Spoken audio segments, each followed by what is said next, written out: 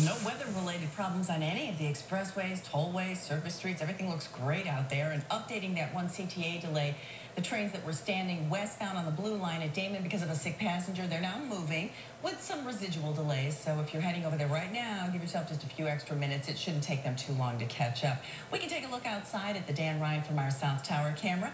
A little bit more traffic volume out there, but it's still moving. If anything, I would call it 16 minutes from 95th through downtown. I think that's still pretty manageable. We'll have some travel times for you in our next update. Tanya and Terrell. Roz 507 coming up next.